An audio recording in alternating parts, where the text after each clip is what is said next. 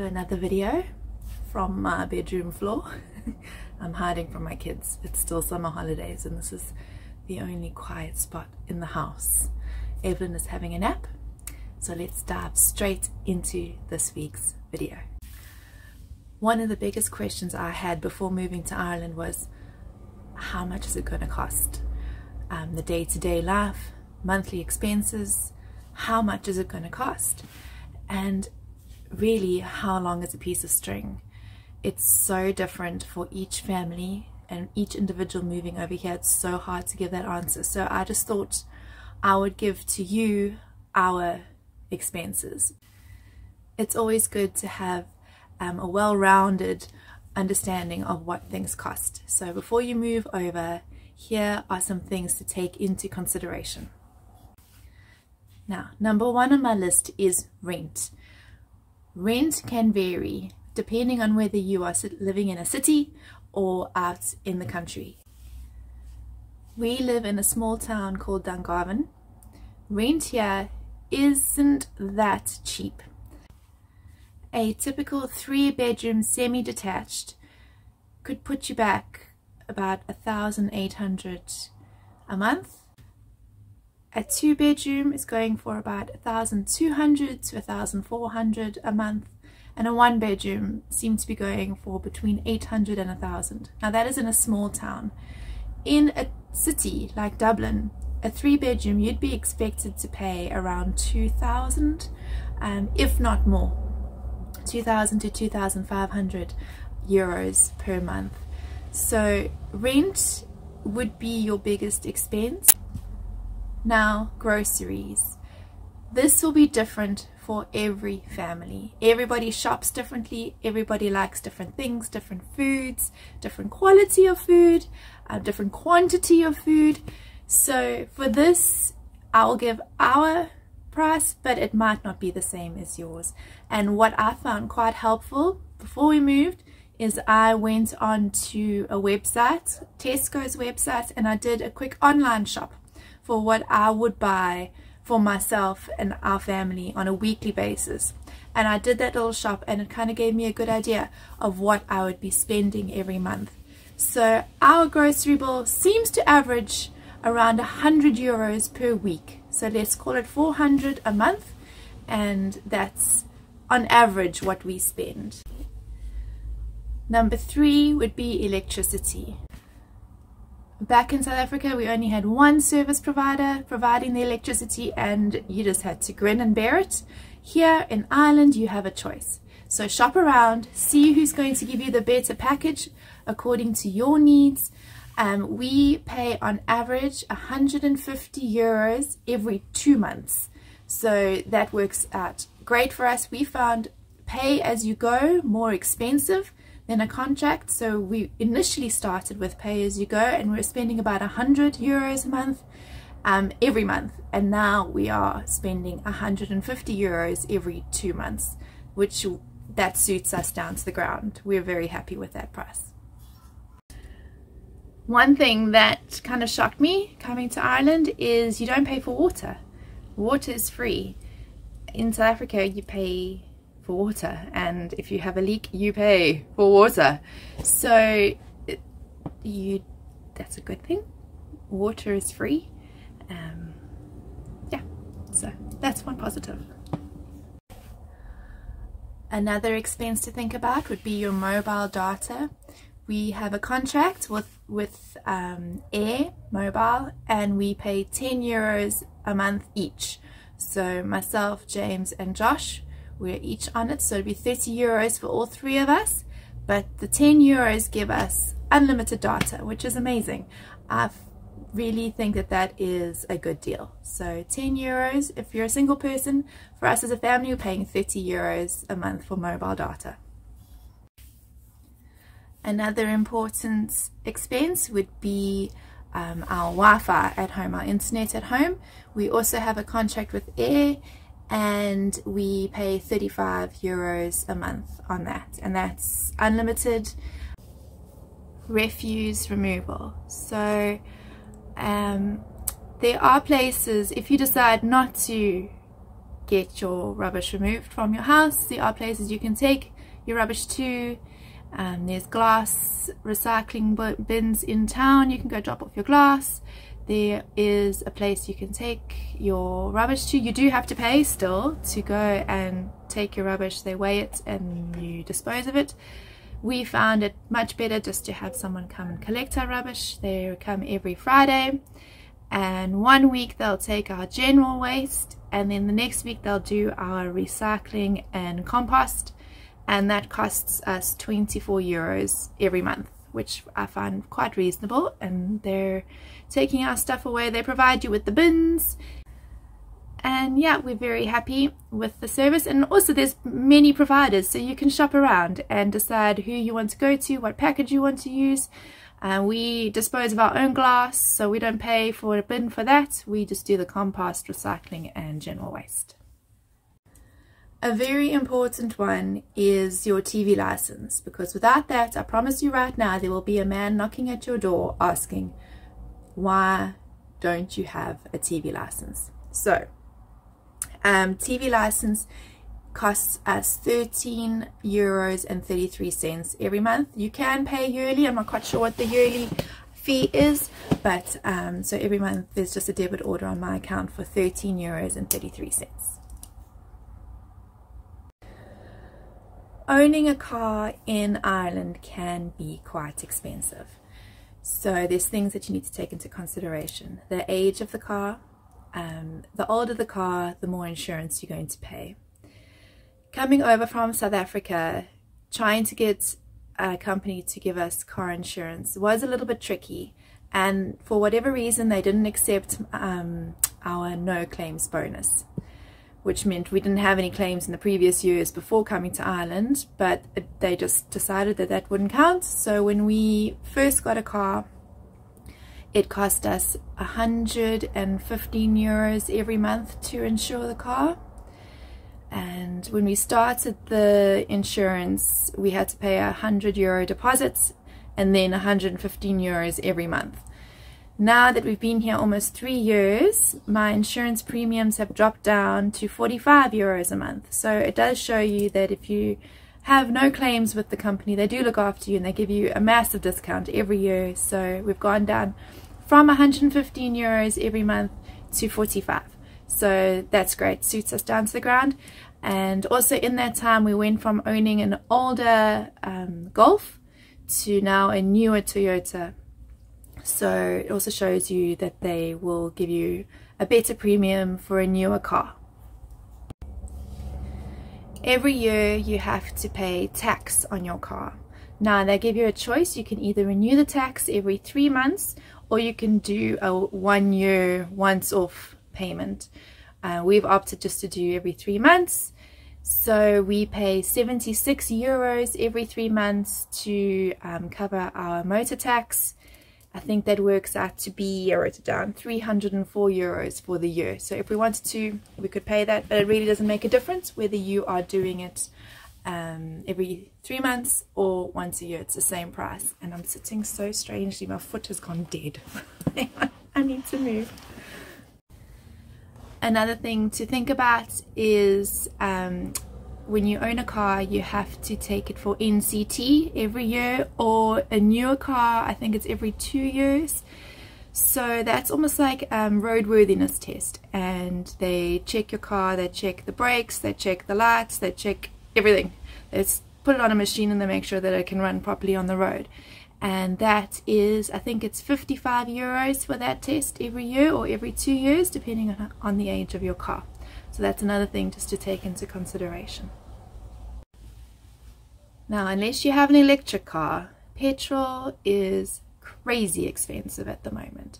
It's costing us about 70 euros if not a bit more to fill up the car. Unless you've got a couple trips like us going up and down to Dublin then it's going to be more. So yeah petrol is quite expensive at the moment. So that's something to think about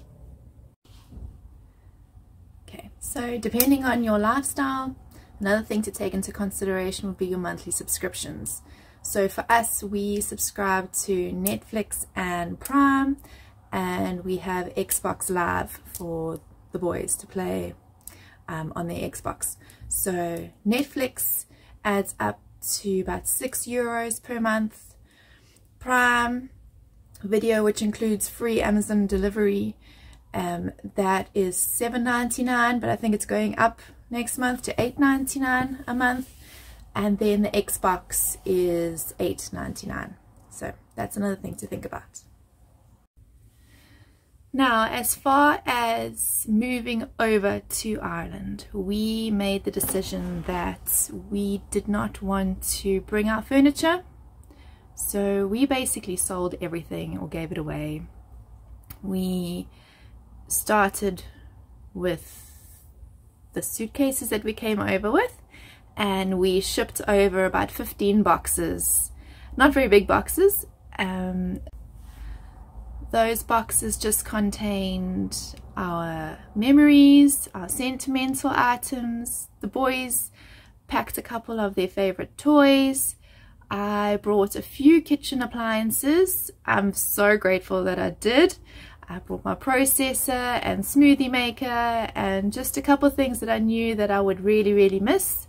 So we packed a few of those things. Uh, we brought cutlery. We didn't really need to, but we had a special set that we invested in so we we brought that over and James's toolbox which is very special to him and just you know just a few home comforts a couple bottles of Mrs. Ball's chutney came along as well so to bring over those 15 boxes we paid 5,594 Rand on South Africa side to Seven Seas. And then once they arrived in the port it took about gosh it didn't take very long at all. It maybe took four or five weeks for to get here which was super fast. I was so impressed once our boxes arrived in Ireland we had to pay customs 413 euros to get it delivered to us so that was just the customs charge and so all in all, I'm really glad we spent that money to bring those few things over. I'm glad we didn't bring all our furniture because everywhere we've moved, only been two places, but both places have been fully furnished and I actually don't know what we would have done had we brought furniture with us. It just, we would have had to pay for storage or just get rid of it. So that's one thing I'm very grateful we didn't do. We didn't come over with our furniture, we just brought our sentimental items. Now schooling. So we don't pay school fees every month. We do pay a um, kind of like a registration fee at the beginning of the year. Uh, for our boys it was 80 euros each for the year and then there's a book rental payment which was around 80 euros as well. But then that's your only cost to the school for the year, which is a big difference from South Africa where you pay monthly for school fees. We also take out um, pupil insurance on the boys in case of any school accidents or on the way to school accidents and it's like a medical cover that covers all of that uh, for the year which is great. I think it's really cheap. It cost us, I think last year it was 12 euros for the whole year. So we found that really um, kind of gave us peace of mind. And one thing that was quite expensive was Josh starting first year, the books, or my Harry, yeah, they were very expensive, but he uses them for three years. So this year, going into second year, we don't have to buy those any more books for him because he's going to use the books we bought last year. So for the next three years, he's going to use the same books, which is quite a relief. And I don't actually now mind spending the money that I did last year on the books. It was a couple hundred euro for the books. I can't remember the exact amount, but I think we were balancing between three and four hundred euro. And um, yeah, that it was quite pricey. But stationery and um, just regular um, notebooks it's not too bad. I probably spend about 50 euros for both boys um, in that regards. Here they don't call notebooks notebooks, they're called copies and when I first got the list, the book list, I had no idea what I was looking for. Copies? What are copies? Copies are things that you make copies of. So just so you know, a copy is a notebook for school. Another expense that might not be a monthly expense is um, medicine and doctor's visits. So in the last month we had um, a visit to the doctor which was 60 euros for the consult and medicine is not cheap. So something just to keep in mind we have applied to be on the drug payment scheme. So the drug payment scheme is um, run by the HSE and you it just it kind of caps your spending. So if you're having a really expensive month and um, once you reach 80 euros you don't pay further than that. So we haven't had a month where we've spent more than 80 euros on medicine so but it's always just good to have. And it's not means tested. So if you like us are wanting to naturalize um, in Ireland it won't count against you when you when you're going through the naturalization process. And that's also something to really keep in mind. There are so many um, government welfare payouts in Ireland that so many people have told me why don't I apply for this the working payment or why don't I apply for the back to school allowance we can't do that because we need to show that we can stand on our own two feet and we're not a burden on the system. So we are doing that. We are not applying for any of the payouts and um, to show that we are here to live here and not to live off Ireland but to live for Ireland. So that's just something to keep in mind. Um, be very careful if you're applying for GP cards and anything that is means tested just be aware that it could count against you at the end of the day when you're wanting to naturalize and become an Irish citizen. So those are our expenses and that's what we pay on a monthly basis. Every month is different. Some months there's a birthday, um, some months we go out, have to travel to Dublin, um, visa costs, all sorts, you know, things change. So, but on average, this is what we pay. And I really hope that this has helped you and in your planning and your decision making and hopefully made things a bit clearer.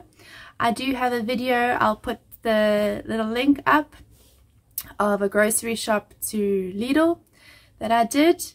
And I also have a video, I'll put another link for that on renting in Ireland but all in all, 2022, this is our expenses, or these are our expenses, and I hope this has helped you.